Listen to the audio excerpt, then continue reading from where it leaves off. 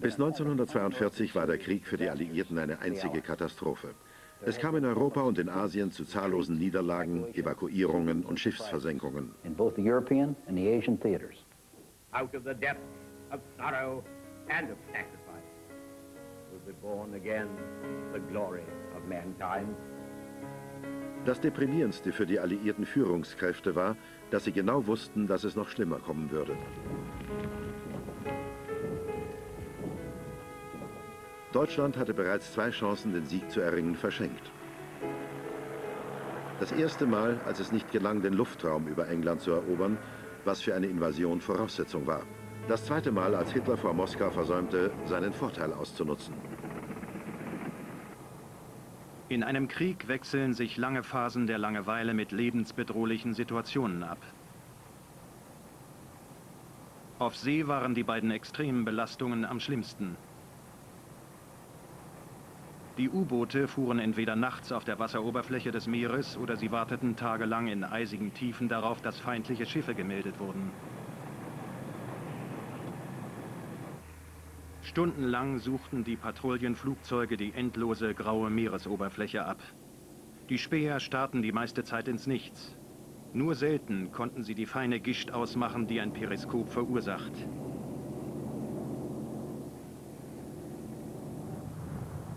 Wenn es zu einer Schlacht kam, war sie unerbittlich.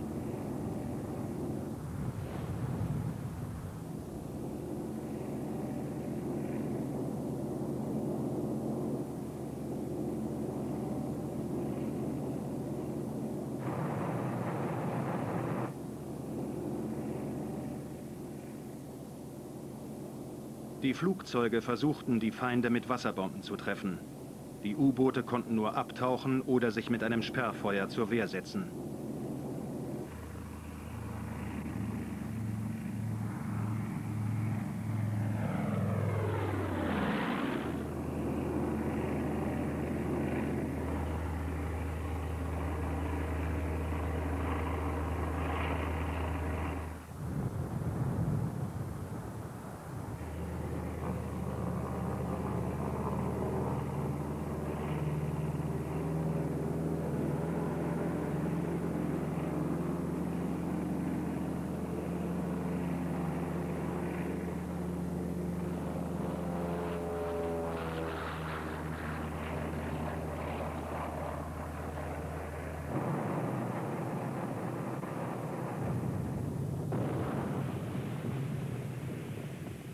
Die Matrosen waren in ständiger Angst, in ihren engen Sardinenbüchsen zu ertrinken. Den Fliegern drohte der Sturz in die eiskalte, den Tod bringende See. Waren die Schreckensmomente glücklich überstanden, begannen wieder die Stunden der lästigen Langeweile.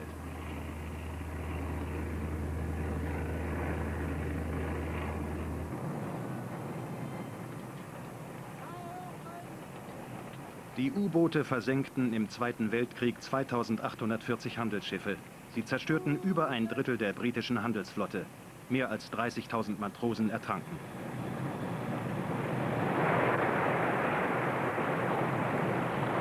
Auf Seerohrtiefe gehen!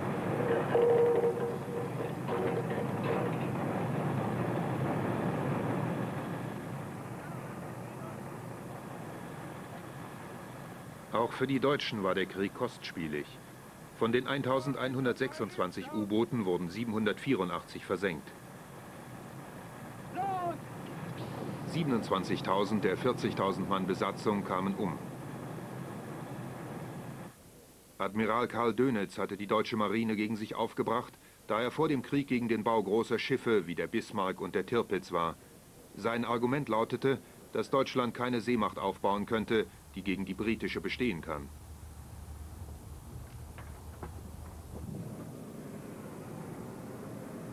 Dönitz war der Meinung, das Rezept für einen Sieg zu kennen. Eine Flotte von 300 seetüchtigen U-Booten.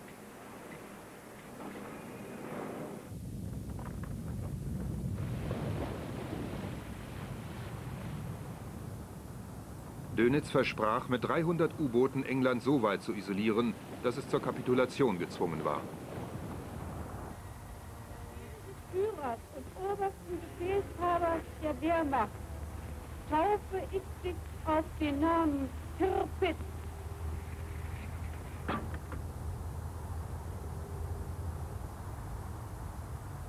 Die gesamte deutsche Admiralität war gegen Dönitz.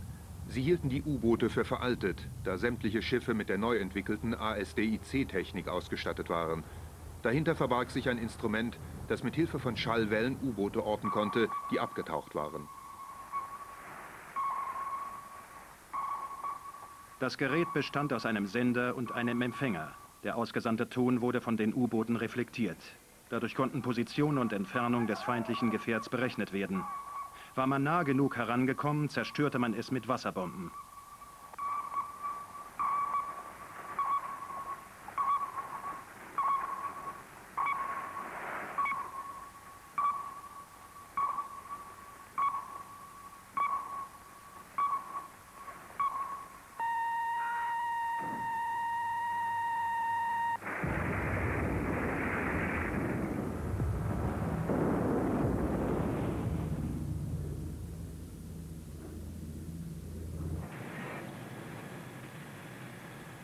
Dönitz wollte den Marineexperten beweisen, dass sie sich irrten und dass die U-Boote ausreichten, um den Krieg zu gewinnen.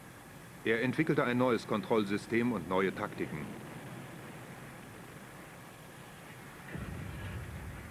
Der Großadmiral war der Nutznießer des größten Spionage-Coups der Deutschen. In der entscheidenden Phase des Kampfes um den Atlantik gelang es seinem Nachrichtendienst, die englischen Marinecodes zu entschlüsseln. Dadurch konnte er die Route der Schiffe vom Beladen im heimischen Hafen bis zum Entladen in fremden Häfen verfolgen. Dönitz legte Wert darauf, in engem Kontakt mit allen Männern seiner U-Boot-Besatzung zu stehen. Deshalb war er bei jeder Ankunft und jeder Abfahrt anwesend. Sämtliche Auszeichnungen verlieh er höchstpersönlich. Man konnte nicht leugnen, dass er Charisma besaß. Er hatte ein ausgeklügeltes Funknetz aufgebaut und benutzte Enigma-Codemaschinen, Wurde ihm die Position einer Flotte gemeldet, befahl er einem oder zwei U-Booten, die Schiffe zu verfolgen und mit ihm in Kontakt zu bleiben. Dann kommandierte er weitere U-Boote an die Angriffsstelle. Es konnten bis zu einem Dutzend sein, die die Flotte attackierten. Die Taktik, die U-Boote zu nächtlichen Angriffen an die Oberfläche zu schicken, war eine Revolution in der bisherigen Kriegsführung. Denn dadurch wurde das ASDIC-System unwirksam.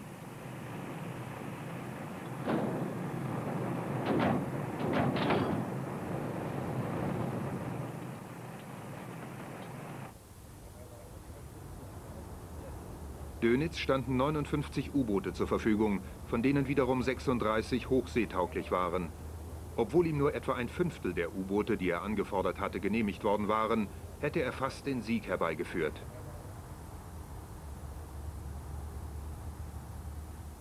Als der Krieg seinen Höhepunkt erreichte, wurde seine Flotte um 40 U-Boote aufgestockt. Selbst mit dieser geringen Anzahl erreichte er fast sein Ziel, nämlich pro Monat 800.000 Tonnen Schiffsladung zu versenken.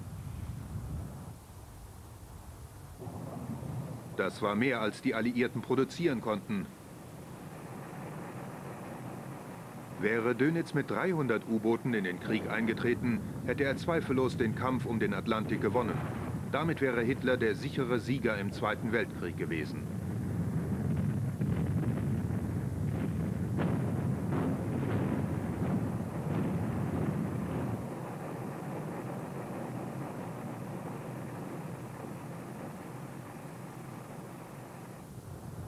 Briten traten mit zu wenig Zerstörern und einem unzulänglichen Flottensystem in den Krieg ein.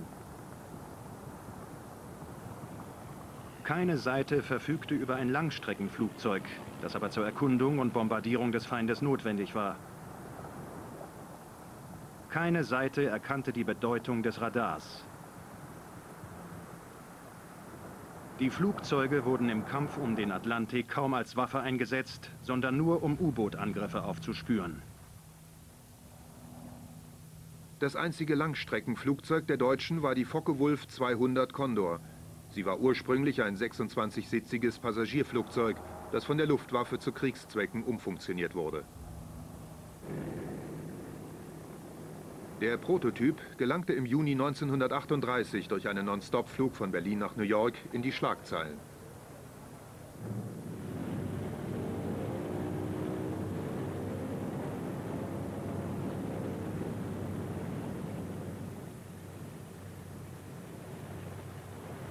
Obwohl die Konstruktion der Condor für einen Militäreinsatz viel zu leicht war, wurde sie von der Luftwaffe dazu verwendet.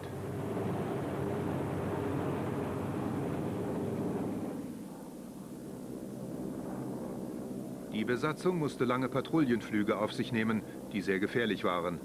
Denn die Ausstattung der Condor ließ, was Waffen anging, sehr zu wünschen übrig.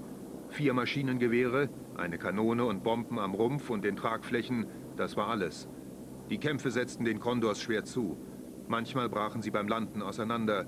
Das gesamte Treibstoffsystem war an der Unterseite angebracht. Deshalb war das Flugzeug für Geschützfeuer extrem anfällig.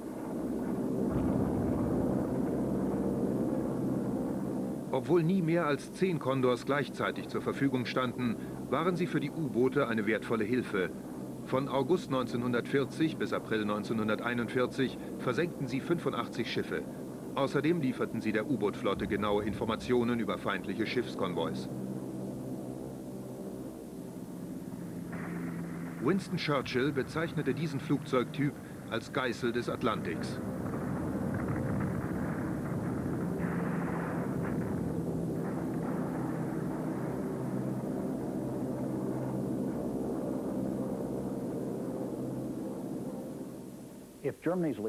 Hätten die Deutschen alle nötigen Mittel zur Verfügung gestellt, hätte die Luftwaffe gesiegt und England hätte vielleicht kapitulieren müssen. In der frühen Phase des Krieges beschloss Deutschland, seine Bomber über englischen Städten einzusetzen. Dabei hätte man an der Ostküste größere Erfolge erzielen können.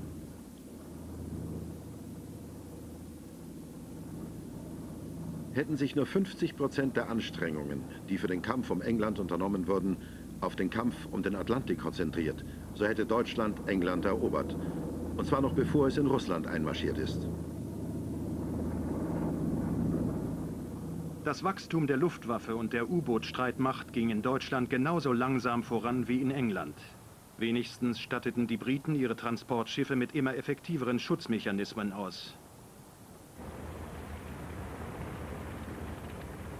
1940 fehlten in England Flugzeuge, die ohne Zwischenlandung lange in der Luft bleiben konnten, um die unendliche Weite des Ozeans zu inspizieren. Man musste sich jahrelang auf die viermotorigen Sunderland-Flugboote verlassen.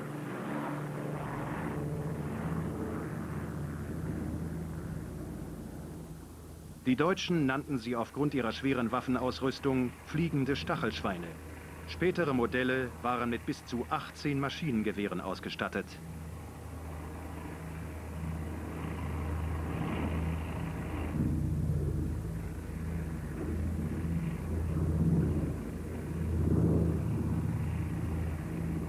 Maximale Einsatzzeit betrug 13,5 Stunden. Die Flugboote konnten also etwa 1000 Kilometer weit aufs Meer hinausfliegen, zwei Stunden patrouillieren und mussten dann wieder zurückkehren. Doch es gab viel zu wenige Sunderlands. Außerdem war ein Radius von 1000 Kilometern nicht ausreichend. Man hätte einen Bomber mit einer größeren Reichweite benötigt.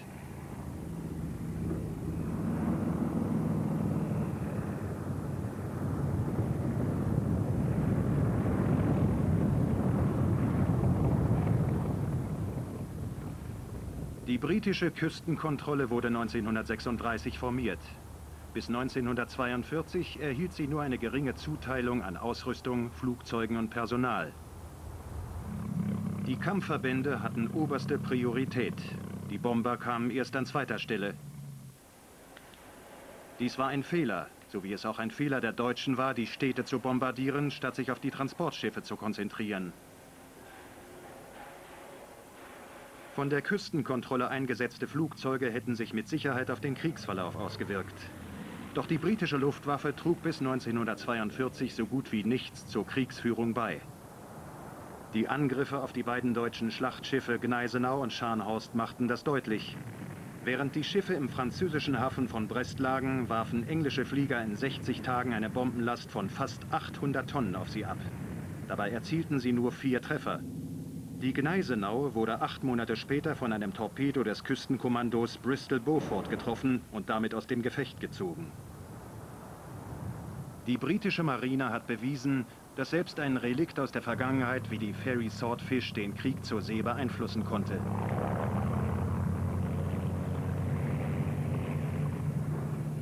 Obwohl die Swordfish ein langsamer und schwerfälliger Doppeldecker war, erzielte sie zahlreiche Torpedotreffer.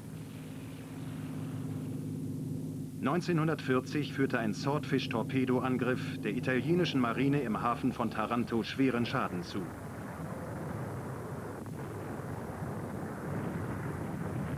Ein von einer Swordfish abgefeuerter Torpedo zerstörte die Steuerung des deutschen Schlachtschiffes Bismarck, sodass es der britischen Marine gelang, es zu versenken.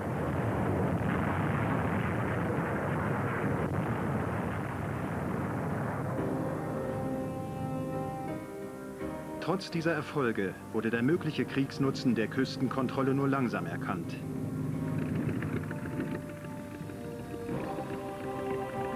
Ihr Zuständigkeitsbereich erstreckte sich von Murmansk im Nordosten bis nach Kapstadt im Südosten. Von Rio de Janeiro im Südwesten bis nach New Brunswick im Nordwesten.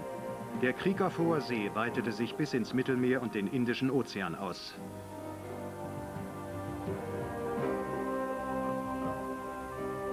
Wo es Rohstoffe gab, gab es auch Häfen. Wo es Häfen gab, gab es meistens U-Boote.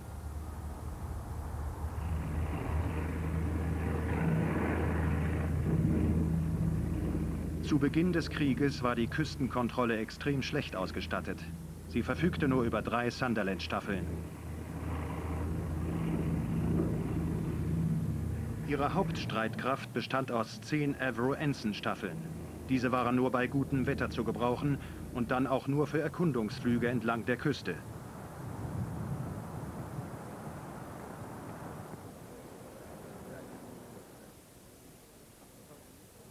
Die zweimotorige Lockheed Hudson aus Amerika war endlich ein Flugzeug, das voll einsetzbar war. Doch die verdiente Anerkennung durch die Öffentlichkeit wurde ihr nie zuteil. Das Flugzeug bestand ganz aus Metall. Es war eine Weiterentwicklung des Typs, mit dem Amelia Earhart abstürzte, als sie die Welt umfliegen wollte. Im Laufe des Krieges wurden 2941 Hudsons hergestellt. Die beiden Nachfolger der Hudson hießen Ventura und Harpoon. Unerfahrene Piloten setzten sich nur ungern an den Steuerknüppel einer Hudson, denn sie war extrem schwierig zu fliegen, besonders wenn der Start auf kurzen Pisten erfolgen musste. Dank einem Aktionsradius von etwa 3000 Kilometern konnte die Hudson bis zu zwei Stunden 800 Kilometer von ihrer Landebasis aus eingesetzt werden.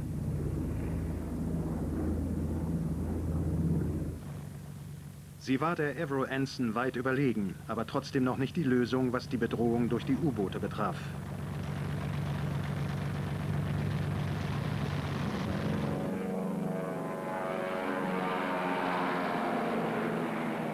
Es war eine Hudson, der der erste Volltreffer in der Luft gelang. Sie schoss am 8. Oktober 1939 ein Dornier Do 18 Flugboot ab.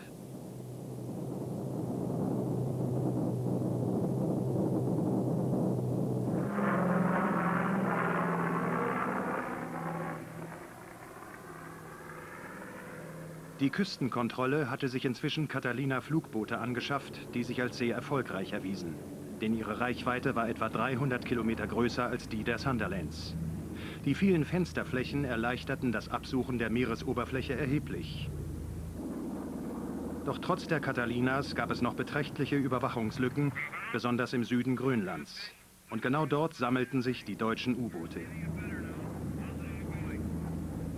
Die Verluste unter den Transportschiffen waren weiterhin hoch. Dies änderte sich erst, als die Luftwaffe der Alliierten technisch aufholte. Die Aufklärungseinheiten der Küstenkontrolle bemühten sich, möglichst viel Informationsmaterial über die U-Boote zu sammeln. Obwohl die deutschen Wissenschaftler, die für das Militär arbeiteten, weltweit zu den Besten zählten, zogen die Briten mit ihren Entwicklungen bald gleich.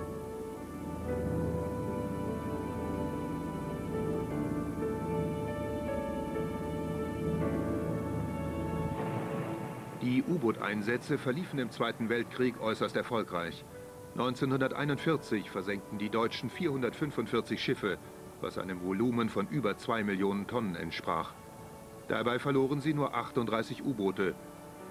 1942 versenkten sie 1094 Schiffe, fast 6 Millionen Tonnen. In dem Jahr kehrten 82 U-Boote nicht mehr in ihren Hafen zurück.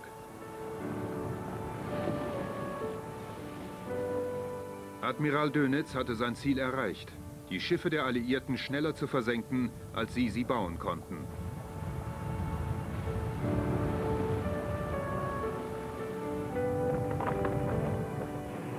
Den Deutschen war klar, dass sich England ergeben musste, wenn sich das Blatt nicht gegen sie wenden würde.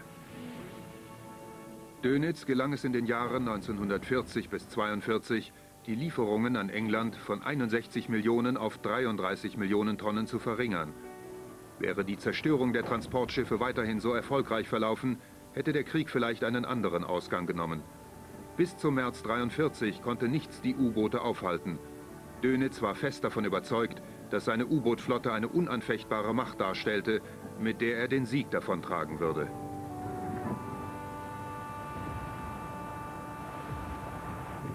Die Lage der Deutschen in Russland und in Afrika stand dazu in krassem Gegensatz. Und das gewaltige Kriegspotenzial der USA begann sich gerade erst abzuzeichnen.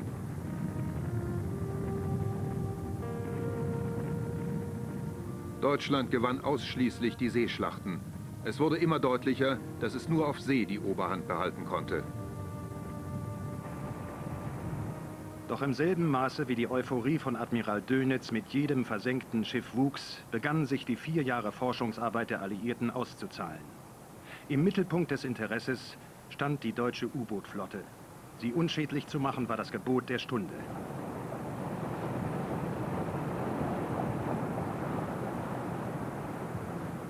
Auf der Konferenz von Casablanca 1943 machte Churchill unmissverständlich klar, dass die Alliierten nur eine bedingungslose Kapitulation Deutschlands akzeptieren würden. Churchill und Roosevelt waren sich einig, dass die Vernichtung der U-Boote oberste Priorität haben musste. Technisch weiterentwickelte Schiffe sollten zu einem Sieg im Atlantik verhelfen. Dazu gehörten die Catapult Aircraft Transportschiffe, kurz CAM genannt. Sie führten eine Sea Hurricane mit sich. Diese Flugzeuge waren mit einer Art Startrakete ausgestattet, sodass sie wie ein Space Shuttle abgeschossen werden konnten, um angreifende Focke-Wulf-Kondors in die Flucht zu schlagen.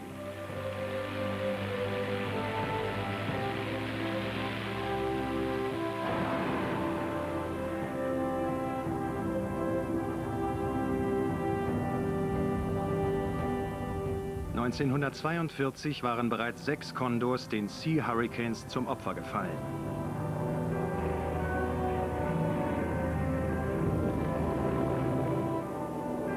Erfolgtem Angriff musste der Hurricane-Pilot in den eisigen Ozean abspringen und hoffen, rechtzeitig herausgefischt zu werden.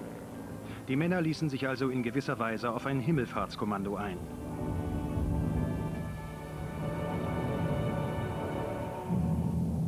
1941 waren sogenannte MAC-Schiffe entwickelt worden. Sie hatten keine Bauten an Deck und konnten deshalb als Start- und Landebahn benutzt werden.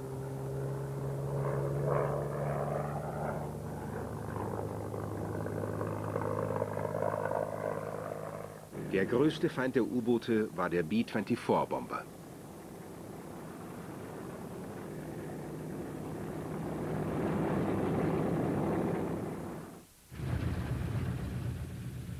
Dieses Flugzeug war zur Unterstützung der Boeing B-17 konstruiert worden. Dank des nun großen Aktionsradius gab es keine Überwachungslücken mehr. Die B-24 war ein bemerkenswertes Flugzeug. Obwohl man erst 1939 mit der Entwicklung begonnen hatte, wurde der Flieger bereits 1941 eingesetzt. Es wurden 18.432 Stück hergestellt. Kein anderes amerikanisches Kriegsflugzeug wurde so oft gebaut. Es konnte bis zu 24 Wasserbomben mit sich führen. Außerdem hatte es wesentlich mehr Munition an Bord als eine Hudson oder eine Sunderland.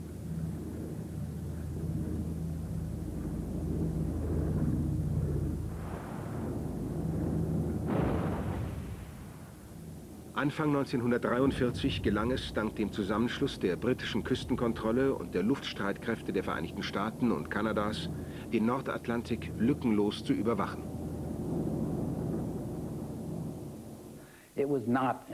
Es war nicht leicht gewesen.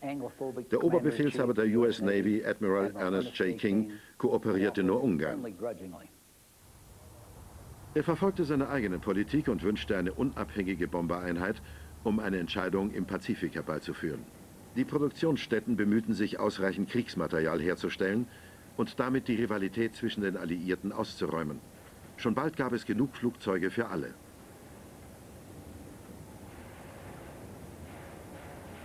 Doch die Fliegerstaffeln waren nur eine Teillösung. Den Feind unter der Wasseroberfläche zu halten, reichte nicht aus. Die U-Boote mussten aufgespürt und zerstört werden. Dazu war eine fortschrittliche Technik nötig.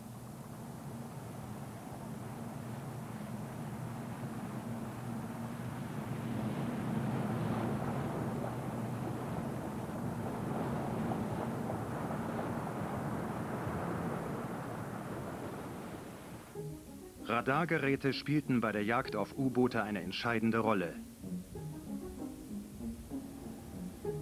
Die Briten hatten bereits vor dem Krieg ein Verteidigungssystem, das sogenannte Chain Home, entwickelt, das zum Sieg im Kampf um England erheblich beitrug. Jetzt sah man sich gezwungen, ein Abfangradargerät für Flieger und Bodenfahrzeuge zu produzieren. Sämtliche Geräte funktionierten nach demselben Grundprinzip.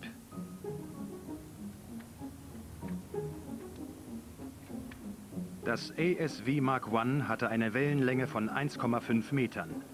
Es hatte ein großes Potenzial, war aber im Krieg kaum zu gebrauchen. Die Briten setzten alles auf eine Karte und entwickelten Mark II. Sie stellten 4000 Geräte her, obwohl sie nicht wussten, ob dieser Typ effektiver sein würde als der Vorgänger. Die deutschen Radardetektoren hatten das ASV Mark I orten können. Aber gegen Mark II waren sie machtlos. Sie konnten die kurzwelligen Impulse nicht auffangen. Die Wissenschaftler der Nazis hielten die Entwicklung von Kurzwellenradargeräten für unmöglich. Deshalb glaubten sie, dass die Briten die deutschen U-Boote orten konnten, indem sie die Frequenzen erfassten, die von den U-Booten selbst ausgesandt wurden. Also konzentrierten sie sich darauf, Warngeräte zu entwickeln und die Frequenzemission der U-Boote zu reduzieren. 1943 wurde ein britischer Bomber über Rotterdam abgeschossen. Dadurch wurde das Radargeheimnis entdeckt. Das Flugzeug war nämlich mit einem H-2S-Radargerät ausgestattet gewesen, das eine Wellenlänge von nur 10 cm hatte. Diese Entdeckung war für die Deutschen niederschmetternd. Sie konnten nicht fassen, dass ihnen die Briten in der technischen Entwicklung so weit voraus waren. Ihnen selbst war es nur mit Schwierigkeiten möglich, das Gerät nachzubauen. Dank des ESW Mark II war ein verbesserter Anflug auf feindliche Objekte möglich. Ein Suchlicht, das am Rumpf der Wellington-Bomber installiert war, brachte weitere Zielgenauigkeit. Im Januar 1941 fand der erste Test statt. Die Wellington spürte mit Hilfe des ESW Mark II-Radars ein U-Boot an der Wasseroberfläche auf. Erst im letzten Moment schaltete der Pilot das Suchlicht ein. Dadurch wurde das U-Boot beleuchtet und ein direkter Treffer ermöglicht. Die U-Boote brauchten nur 25 Sekunden zum Abtauchen. Das hatte viele vor der Zerstörung bewahrt. Unter Wasser konnten sie dann die Richtung ändern, ohne dass es der Feind von der Luft aus registrieren konnte. Durch das Suchlicht verloren die U-Boote die wertvollen 25 Sekunden. Dönitz sah nur eine Möglichkeit. Die U-Boote mussten mit zusätzlichen Geschützen ausgerüstet werden, um den Kampf mit den Angreifern aufnehmen zu können. Die existierenden U-Boote wurden dementsprechend umgerüstet und die Neukonstruktionen ergänzt. Maschinengewehre und schwere Geschütze waren jetzt Standardausrüstung. Doch ein schlingerndes U-Boot war ein schlechter Standort für Geschütze und ein leichtes Ziel für die Bomber. Deshalb stellten sie keine ernsthafte Bedrohung für die Flugzeuge dar. Griffen zwei oder mehr Flieger gleichzeitig an, waren sie so gut wie hilflos.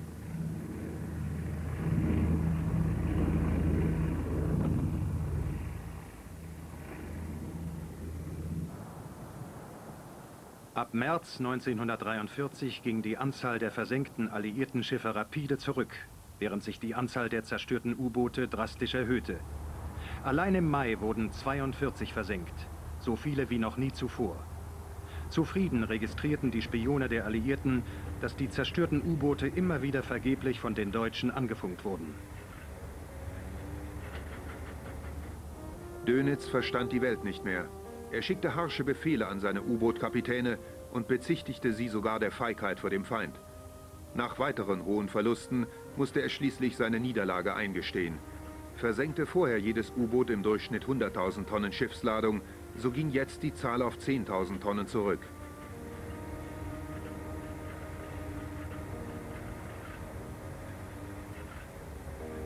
Dönitz sah sich gezwungen, seine U-Boot-Flotte in einer weniger bewachten Region einzusetzen.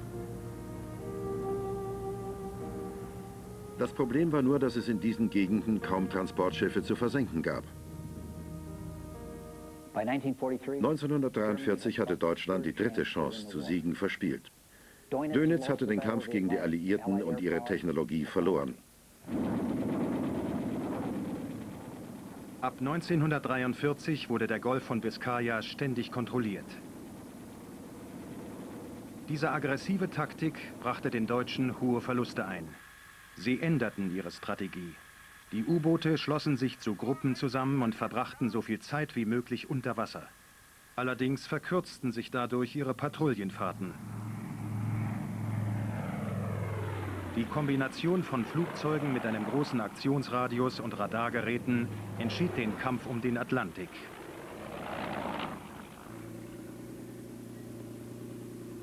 Deutschland war nicht nur auf die U-Boote angewiesen, um Transportschiffe der Alliierten zu zerstören. Auch die Luftwaffe trug ihren Teil dazu bei. Sie flog Einsätze von Frankreich bis weit in den Atlantik hinaus. Von Deutschland und Norwegen aus konnte ein großes Gebiet kontrolliert werden. Im Mittelmeerraum wurden die Einsätze vom italienischen Festland, von Sizilien, Sardinien, dem griechischen Festland und Kreta geflogen. Die Luftwaffe griff gemeinsam mit den U-Booten die Transportschiffe an, die England, Russland und den nordafrikanischen Kriegsschauplatz versorgten.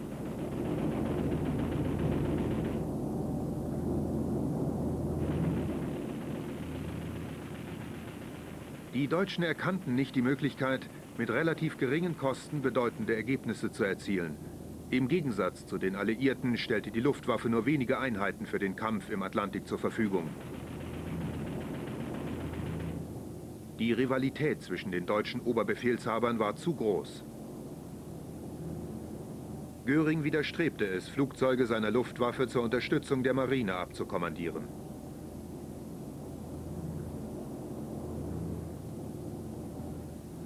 (1939) flogen nur zwei Bombereinheiten Einsätze gegen Transportschiffe. Aus diesem bescheidenen Anfang entwickelte sich das berüchtigte Fliegerkorps 10. Von Norwegen bis Sizilien war kein Konvoi vor ihnen sicher.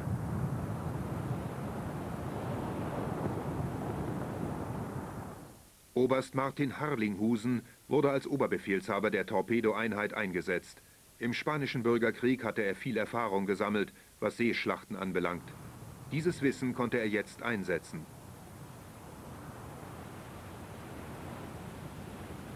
Der Oberst ließ sämtliche Konvois angreifen, die auf dem Weg nach Murmansk waren. Die Luftwaffe entwickelte ein tödliches Geschick, was Tiefflugangriffe betraf. Die Heinkel 111 und 115 sowie die Junkers 88 waren nicht nur mit Bomben, sondern auch mit Torpedos ausgestattet.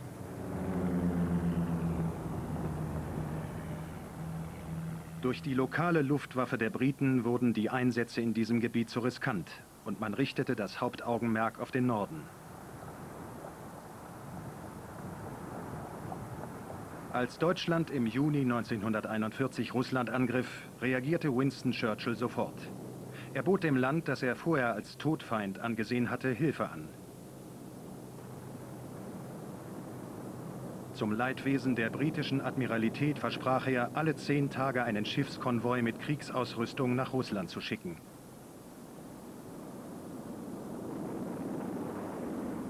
Die Marine verfügte weder über genug Transport noch über genug Begleitschiffe, um dieses Versprechen einlösen zu können.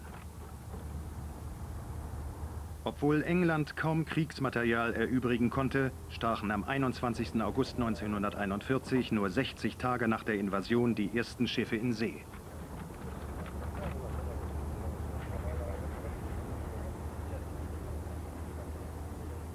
England konnte Churchills Versprechungen nicht hundertprozentig erfüllen. Die Schiffe kamen nicht alle zehn Tage und auch nicht voll beladen in den russischen Häfen an. Trotzdem summierte sich die Anzahl am Ende auf 800 Transportschiffe. Die Route war gefährlich. Sie verlief entlang der westlichen Islandküste durch die Dänemarkstraße und führte so weit nördlich, wie es das Eis zuließ, an Norwegen vorbei. Dann fuhren die Schiffe wieder Richtung Süden nach Archangelsk oder Murmansk. Die etwa 2500 Kilometer lange Strecke war schon zu Friedenszeiten gefährlich. Jetzt kamen noch die feindlichen U-Boote und Flugzeuge dazu. Fast die gesamte Route zu den russischen Häfen lag im Einsatzbereich der in Norwegen stationierten Luftwaffeneinheiten der Deutschen. Im Sommer half das lang anhaltende Tageslicht den Deutschen, die Schiffe auszumachen und anzugreifen. Die Zahlen sprachen für sich. Im Atlantik wurde etwa 1% der Fracht versenkt, in der Arktik dagegen 7%.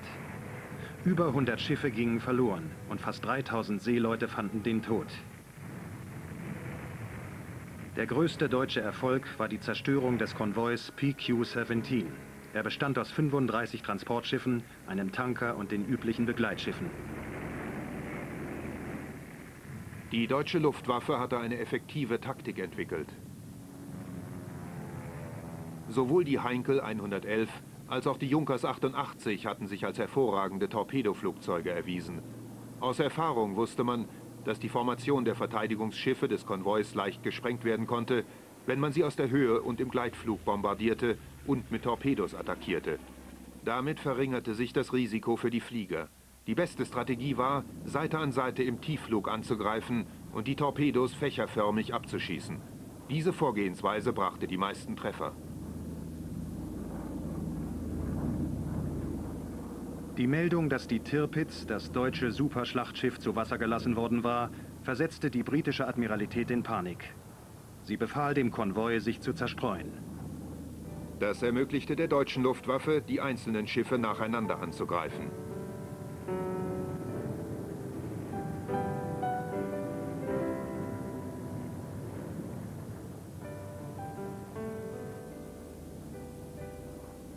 Laut deutschen Berichten wurde der gesamte Konvoi versenkt. Laut englischen Berichten wurden 23 von 34 Schiffen zerstört.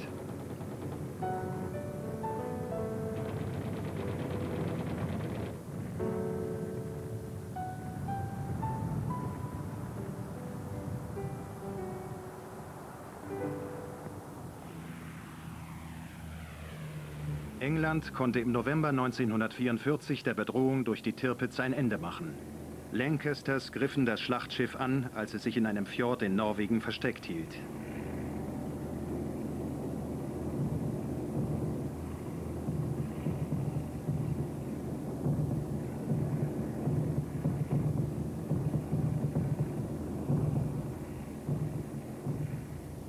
Die Flieger ließen einen wahren Bombenregen auf die Tirpitz herab.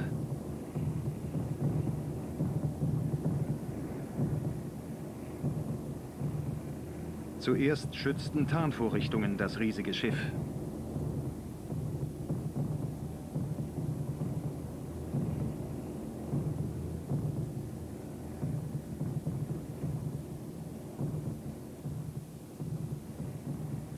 Doch schließlich fanden die Bomben ihr Ziel.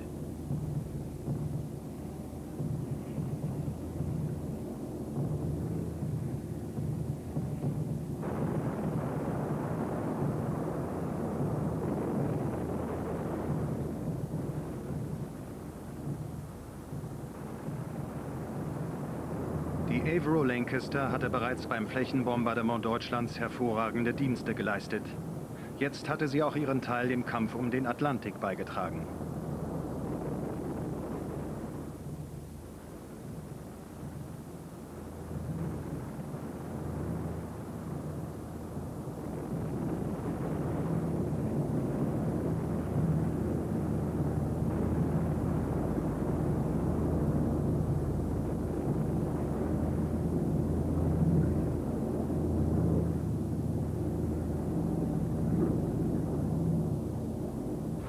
zweimotorigen Bristol Bowfighters und die de Havilland Moskitos waren ebenfalls an den Auseinandersetzungen im Atlantik beteiligt.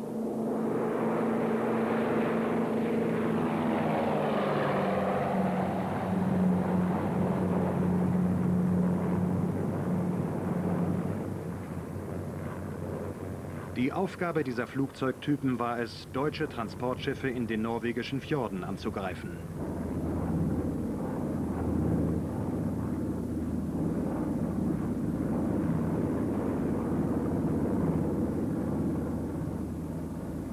Einige der Bowfighters, die die Küstenkontrolle einsetzte, waren mit Torpedos ausgerüstet. Die de Havillands hatten den Spitznamen CC-Fliege. Sie verfügten über Molins-Geschütze, vier Browning-Maschinengewehre, Bomben oder Raketen. Alle diese Waffen wurden gegen Deutschlands Schiffe eingesetzt.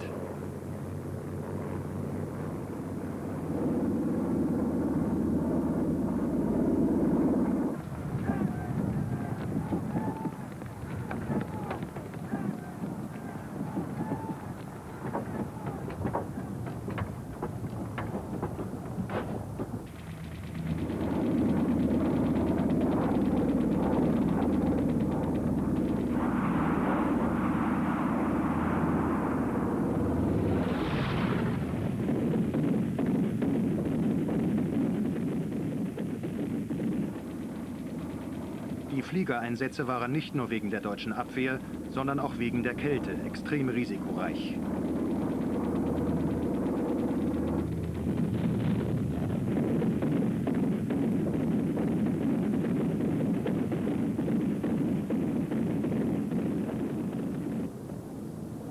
Diese Filmaufnahmen von Einsätzen in Norwegen sind von einer ungewöhnlichen Qualität.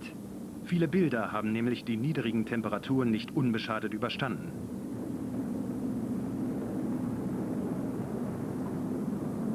Die Intensität der britischen Angriffe und die Zielgenauigkeit sind deutlich zu sehen.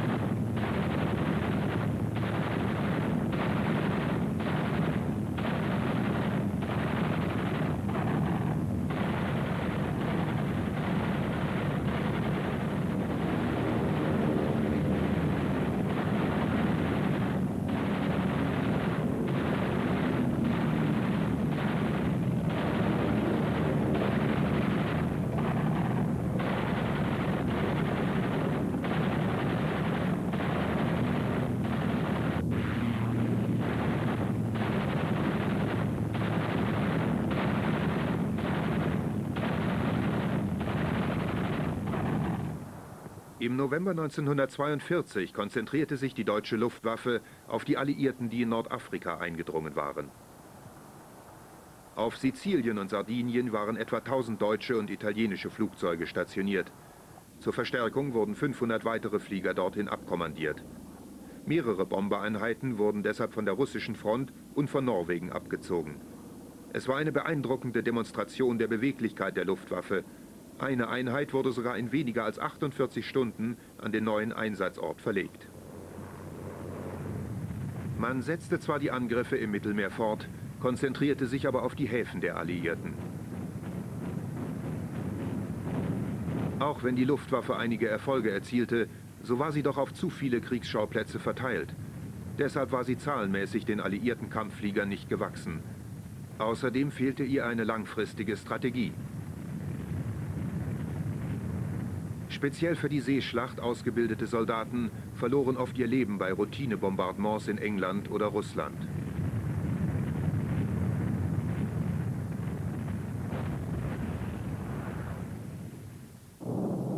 Der Einsatz vom 9. September 1943 bewies, dass auch die Deutschen wirksame neue Waffen entwickelt hatten.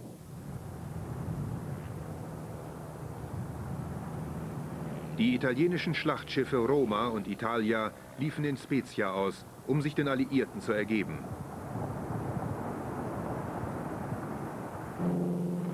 Mehrere Dorniers wurden von Südfrankreich abkommandiert, um sie zu zerstören. Die Dornier, die an der Spitze des Geschwaders flog, hatte ein neues Geschoss an Bord, die Fritz-X-Rakete. Sie war eine sogenannte intelligente Waffe obwohl es diesen Begriff damals noch nicht gab. Als Grundlage diente ein Geschoss, das Panzerplatten durchschlagen konnte. An der Rakete waren vier Flügel X-förmig angebracht. Außerdem besaß sie eine Funksteuerung. Die Fritz X wurde aus einer Höhe von etwa sechs Kilometern abgeworfen. Der Bombenschütze lenkte sie mit einem kleinen Joystick. Dank eines Leuchtfeuers am hinteren Raketenende verlor er das Geschoss nicht aus den Augen. Gleich die erste Fritz X landete direkt im Schornstein der Roma. Es war wahrscheinlich das einzige Mal, dass ein Schlachtschiff mit einem Geschoss versenkt wurde. Die Italia wurde von einem anderen Bomber getroffen und beschädigt. Die Fritz X war eine überragende technische Leistung, die keiner der Alliierten hätte vollbringen können. Doch während in England die Wissenschaftler Hand in Hand mit dem Militär arbeiteten und jegliche Unterstützung von Churchill erhielten, war die Situation der Wissenschaftler in Deutschland anders. Die Generäle wollten nicht, dass sich Hitler allzu sehr in ihre Belange einmischte. Deshalb sagte man ihm, dass die Roma mit konventionellen Waffen versenkt worden wäre. Das Militär fürchtete, dass Hitler der neuen Wunderwaffe Priorität bei der Herstellung geben würde und die Produktion der Kampfflugzeuge darunter leiden würde. Frühe Erfolge und Überheblichkeit ließen die deutschen Generäle nicht erkennen, wie wichtig der Krieg auf See war. Zeit, Strategie, Geografie und Kräfteverhältnis hätten sich für Deutschland günstig ausgewirkt. Man hielt sich mit den Kämpfen zu Land auf und vertraute darauf, dass die Fliegereinheiten ohne größere Unterstützung mit den Feinden fertig werden würden. Deutschland setzte seine Flugzeuge lieber für Bombardements von zivilen Zielen ein als auf See. Sie sollten mehr mit den Panzereinheiten kooperieren als mit der Marine. Hätte ein Befehlshaber darauf bestanden, dass die Luftwaffe die U-Boote unterstützt, hätte der Krieg 1941 zugunsten der Achsenmächte enden können. Doch die Alliierten bewiesen genauso wenig Weitblick. Trotzdem waren sie ihren Problemen gegenüber aufgeschlossener als die Deutschen ihren Chancen gegenüber. Dank der immensen Leistungen der Alliierten zog die deutsche Luftwaffe im Krieg um die Meere den kürzeren. Doch im Pazifik erwarteten die Alliierten noch mehr Schwierigkeiten.